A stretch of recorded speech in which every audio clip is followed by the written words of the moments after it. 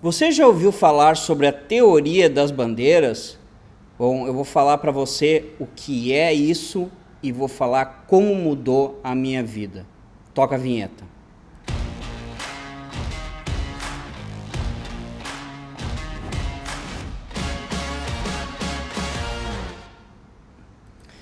Olá, meu nome é Carlos Schreier, mais conhecido como Brasileiro Sem Fronteiras. Aqui nós falamos sobre internacionalização e tudo o que tem a ver com segunda cidadania, outra residência por domicílio, residência fiscal, abertura de empresa no exterior, abertura de conta bancária no exterior, mudar para o exterior, fazer investimentos no exterior, mercado imobiliário, mercado financeiro, criptoativos no exterior e por aí vai.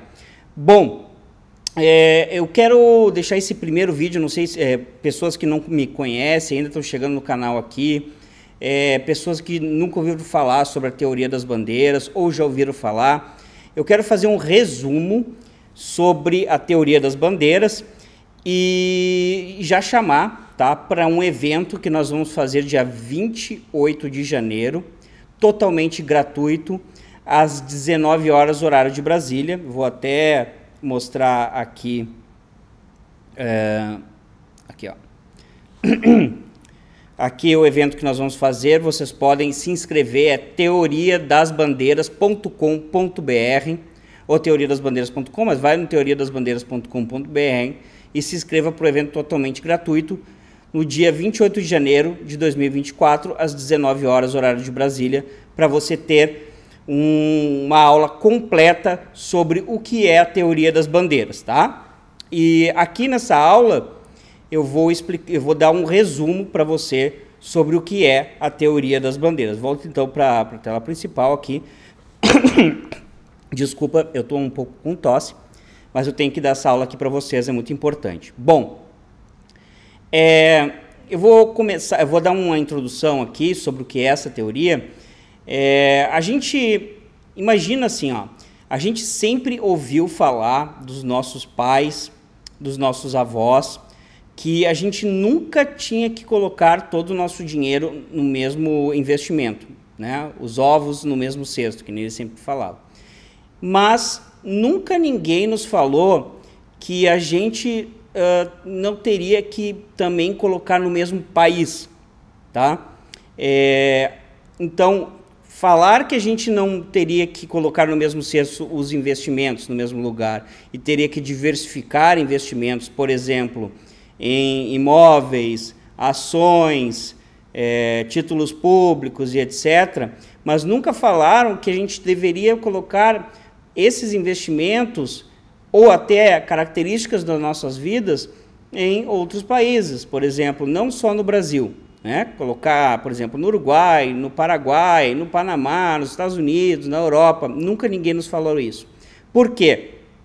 Porque se você colocar é, os seus investimentos, seja mercado financeiro, seja imóveis, seja títulos públicos, tudo no mesmo país, como o Brasil, e a gente sempre fez isso, sempre foi natural para a gente fazer isso, e o Brasil vai, no, vai numa direção tipo Venezuela, é, tipo socialismo, comunismo, o que for, é, todos os seus investimentos, todo o seu dinheiro e toda a sua vida e todas as características da sua vida, proteção patrimonial, proteção da sua família e tudo mais, vai pra, é, está correlacionado na mesma direção. Então você não tem muito o que fazer, você acaba sendo um escravo daquele governo que está em ocasião, tá? Até o governo pode mudar, por um lado, mas ele acaba sendo dominado também pelo status quo do centrão, como a gente teve aí o governo de 2018 a 2022 do Bolsonaro, que não conseguiu mudar muita coisa. Por quê? Porque depois é, a grande maioria né, vão dizer que não, que foi roubado, que não foi roubado, que não interessa. Mas assim, acaba que boa parte das pessoas escolhe o que é melhor para elas. E às vezes o que é melhor para elas que é a, a, a tão é, que o pessoal gosta democracia, né? É, às vezes não é melhor para você, certo? E a teoria das bandeiras vem aqui para ajudar a mudar a sua vida. E foi o que aconteceu comigo.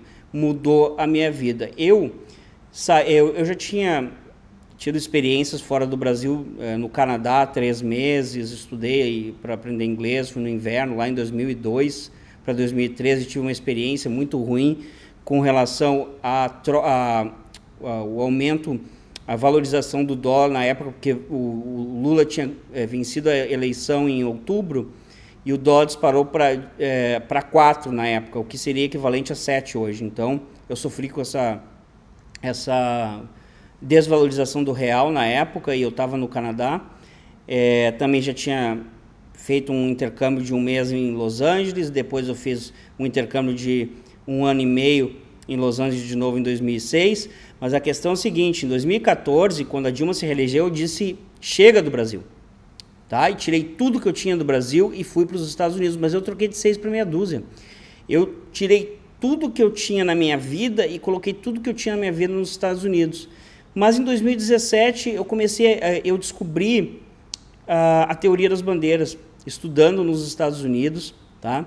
É, através de alguns livros que eu li principalmente um livro que se chama Perpetual Traveler, do W.J. Hill, é, que realmente mudou minha vida, tá? Vocês podem pesquisar esse livro, eu aqui não tenho, uh, no Brasil agora eu, e eu estou aqui no Panamá, saí dos Estados Unidos para estar aqui.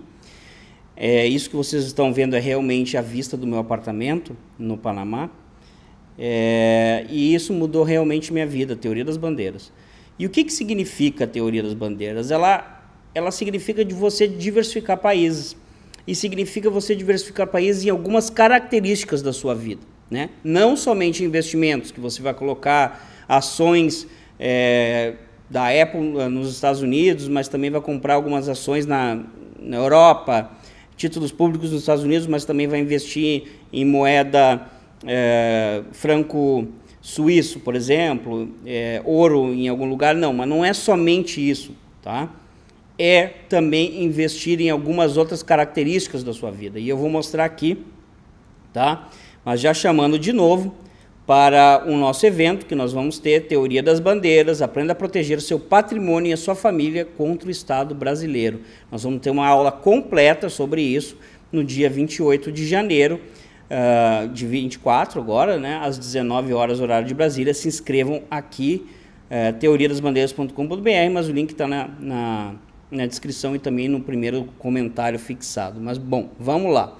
É, no nosso site, e tem aqui na descrição também, nós temos um post é, sobre a teoria das bandeiras. E aqui está falando é, um, um, resumo tá, que, que a gente está falando aqui nessa, nesse vídeo, e na aula completa vai ser muito maior, mas aqui está as características que eu estou falando. E vamos lá, a primeira seria você diversificar cidadanias. Imagina que o Brasil deixa de emitir passaportes, tá? O que, que você faria se você não pudesse é, emitir o passaporte e não pudesse viajar mais? Você é um escravo do governo se você tem somente uma cidadania. Então, se você pode é, ter uma cidadania é, de descendência, né, de ancestralidade, por exemplo, Itália, né, que muitos brasileiros têm direito, é, português, né, que muitos brasileiros também têm direito, alemão já é mais difícil, mas polonês também. Então, você pode tirar uma segunda cidadania dessa forma. Ou, tem outras formas também, você pode é, se naturalizar por tempo, né, de vivência em um país através de uma residência por domicílio também, né? Eu vou explicar o que é residência por domicílio. Também você pode comprar uma cidadania, né? O que é comprar uma cidadania? Países no Caribe, por exemplo, se você investir no país é, em algum tipo de investimento como reflorestamento, é, em algum fundo do país, etc., eles te dão a cidadania do país em seis meses, ou o máximo em um ano, você tem uma segunda cidadania. Ah, mas o passaporte é pior que o do Brasil em termos de entrada de vistos e é, sem a necessidade de visto em alguns países. Porém, você tem um outro passaporte para viajar, porque se você não pode emitir passaportes, o que, que acontece? Você não viaja, você fica preso. Então, você diversificar em cidadanias é ter liberdade tá? E às vezes esse, eh, essa segunda cidadania tem tratados com outros países, tem tratados para você viajar e tratados para você viver nos outros países, tá? Então, segunda cidadania é muito importante, mas também a residência por domicílio, tá? A residência por domicílio, é, ela é diferente da cidadania. A residência por domicílio é você conseguir, por exemplo, um aqui, eu vou botar na tela inteira é você conseguir um documento como esse aqui, ó. Deixa eu botar aqui. Ele é um documento, é, um RG, tá? É você deixar de ter o status de turista no Uruguai, por exemplo, e você ter um documento para viver no Uruguai com todos os direitos para trabalhar, para usar o sistema público de educação e saúde, para você ter uma carteira de, de motorista, para você ter conta de banco, etc mas você não tem obrigação de viver lá. Você pode manter isso como plano B no Brasil, tá? É, a gente fez 100 famílias no ano passado, mais de 100 famílias no ano passado, e 90% continua vivendo no Brasil. Como plano B, se quiser morar lá, vai morar lá, se não quiser morar, não vai morar lá. Isso é residência por domicílio. Depois de você viver lá três anos como casado, né, uma família, você pode se naturalizar uruguaio e sim pedir o passaporte, tá? Solteiro precisa viver lá cinco anos. Isso sim é naturalizar a diferença de residência por domicílio. E aí você se naturalizar e viver lá, pedir a cidadania. Existe a residência fiscal, pessoal. Residência fiscal é onde você paga impostos no mundo, certo? É diferente da residência por domicílio. Residência por domicílio é você ter o direito de viver. Residência fiscal é a obrigação de você pagar impostos ou também tem as isenções de impostos daquele país. Então, eh, normalmente, a gente que nasceu no Brasil, a gente tem a residência fiscal no Brasil. Mas você pode dar saída dessa residência fiscal no Brasil e parar de pagar impostos pessoa física no Brasil. Você para de declarar impostos, para de fazer o imposto de renda no Brasil. Você não declara mais o que você tem no exterior, somente suas rendas dentro do Brasil. Se você não tiver mais renda do Brasil, você não faz mais nada. Então, o que você tem fora do Brasil, você não declara mais. Normalmente, você vai ter uma residência fiscal em outro país. Você vai viver mais da metade do ano fora do Brasil. Certo? Essa é a regra. Você vive 184 dias, 183 dias fora do Brasil e pode viver até 182 dias dentro do Brasil. Essa é mais ou menos a regra, tá? Mas não é só isso. Você tem que ter vínculos com outro país. Tem que ter um imóvel alugado, você tem que ter um carro, você tem que ter é, uma empresa, você tem que ter contas bancárias, uma conta de luz, etc., para comprovar para a Receita Brasileira que você realmente não vive no Brasil. E no Brasil você não pode ter essas coisas. Você não pode ter a sua casa, você não pode ter. Você pode ter imóveis alugados e tal, investimentos, mas você não vai ter investimentos financeiros, você não vai ter contas bancárias, você não vai ter a sua conta de luz no seu nome, essas coisas assim, para comprovar que você não está mais no Brasil. Aí você vai se livrar do Brasil, você vai ter liberdade. Não vai fazer diferença se o Lula ou o Bolsonaro está no governo. Você não vai mais pagar impostos no Brasil e o Brasil não vai ter mais influência na sua vida, a não ser no passaporte. Tá? Mas se você tem a residência por domicílio no Uruguai, ou também no Paraguai, que nem eu tenho, estou diversificado em termos de residência, com esse documento você viaja no Mercosul, tá? Então, se eles não emitirem mais RG no Brasil, colocarem datas para eh, a expiração do, do RG, você consegue viajar no Mercosul com esses documentos, tá? É, você pode ter uma residência por domicílio aqui no Panamá também, certo? Você pode viver no Panamá. É, normalmente, os países amigos aqui no Panamá, que é o Brasil, tem uma residência por domicílio por dois anos, uma provisória, depois vira uma residência permanente e depois, sim, durante depois de cinco anos você pode se naturalizar. Se você é italiano, você tem um, contra, um acordo Panamá-Itália, você vai direto para permanente. Mas isso tudo a gente estuda melhor é, em aulas é, sobre residência por domicílio e residência fiscal. Vamos voltar aqui. É, empresa no exterior. Você diversifica. Onde você vai ter a sua empresa? Ela pode ser no Brasil? Pode ser no Brasil. Você pode ter uma empresa no Brasil, um lucro presumido, não simples, mas lucro presumido, sem ser residente fiscal no Brasil. Né? Você pode, uh, por exemplo, ter uma empresa no Panamá, certo? Você pode ter uma empresa no Uruguai e não viver nesses países. Então você pode diversificar. É, você pode escolher e, e colocar a bandeira naquele país essa bandeira de empresa, está escrito na, na bandeira empresa, você vai lá e escolhe o país que é melhor para você ter a, a, empresa. Você vai lá e escolhe o país da bandeira cidadania para ter a, a, cidadania. E você vai colocando no, no, num mapa todas as bandeiras dessas características, certo? Playground. O que, que é o playground, pessoal? Playground é onde você vai fazer suas compras, onde você vai se divertir às vezes. Você pode escolher isso como a Flórida, por exemplo.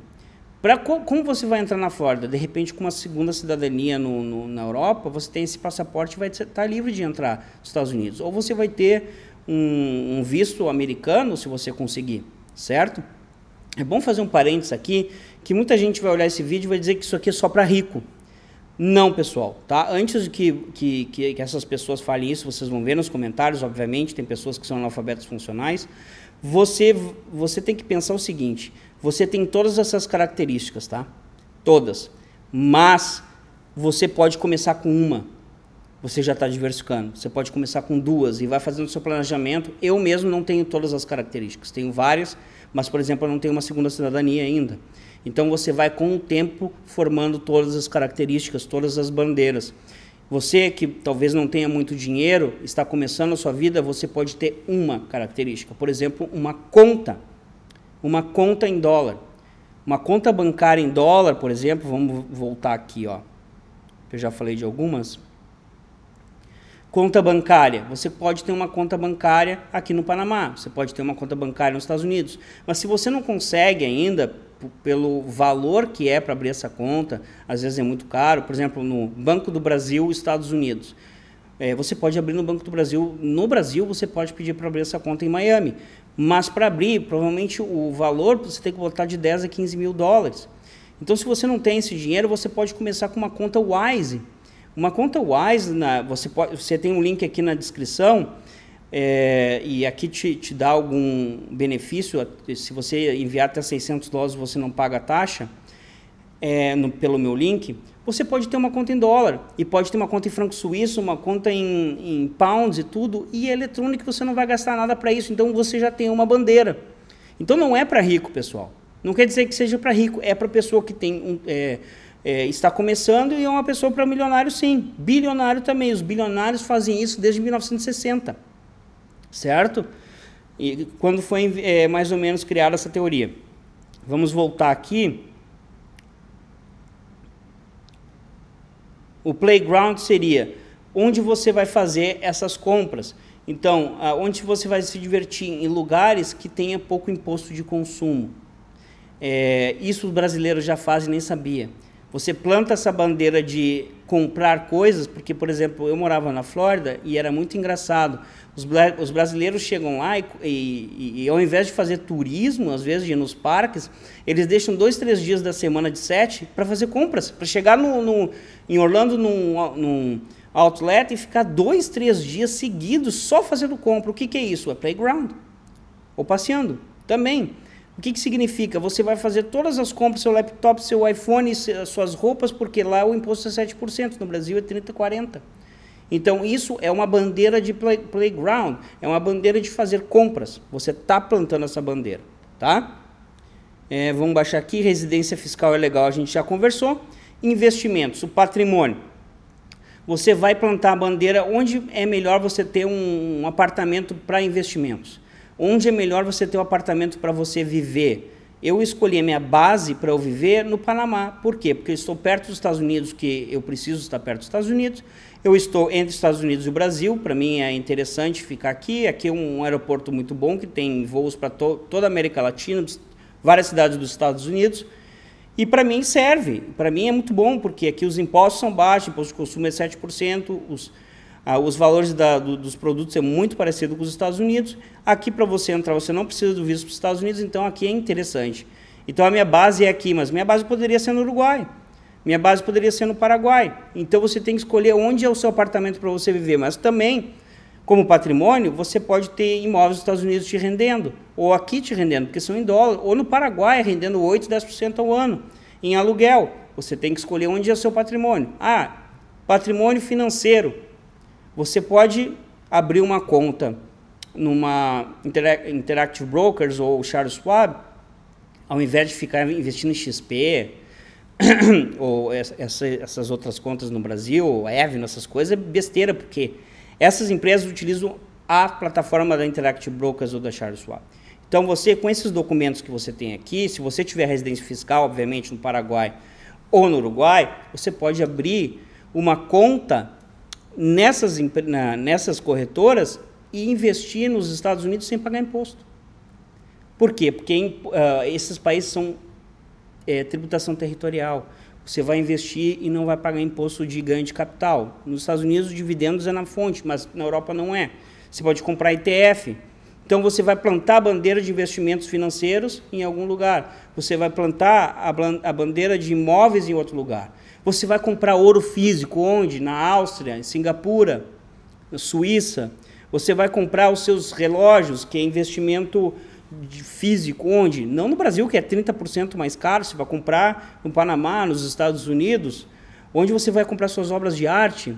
Isso é patrimônio, são bandeiras, certo?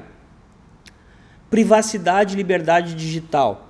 Privacidade, onde você vai ter o seu e-mail, seu host que dá maior privacidade para você o seu VPN. Onde que vai estar o seu VPN? Aqui embaixo na descrição nós temos também um VPN que a gente sugere. Você pode clicar aqui você, você vai ter benefícios. Se você fizer aqui o VPN Express que a gente usa. Agora, liberdade de expressão, pessoal, para você não ser censurado é muito importante. Eu utilizo, por exemplo, dois, dois hosts na nossa empresa, tá? Host de internet. Um dos nossos uh, hosts, que é os .com, se vocês uh, olharem aqui, teoriadasbandeiras.com.